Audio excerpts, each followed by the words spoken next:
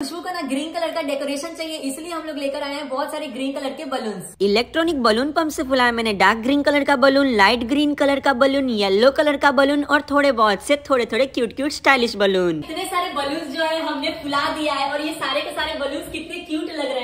फिर एक एक करके मैंने सभी कलर के बलून्स को आर्च टेप में ना जोड़ दिया। सभी बलून्स एक साथ कितने सुंदर लग रहे हैं ना ये पूरा जोड़ने में मुझे लगा दो घंटे और ये जोड़ के तो मैं तो थक गया यार। थ्री टू वन ये है मेरा फाइनल डेकोरेशन खुशबू के बर्थडे के लिए ग्रीन कलर का।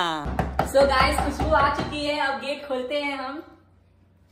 वाव कैसा है खुशबू? बहुत है खुशबू डेकोरेशन देखकर ताली बजाने लगी और बहुत ही खुश हो गई तो मैं भी खुश हो गया। सुनो, ये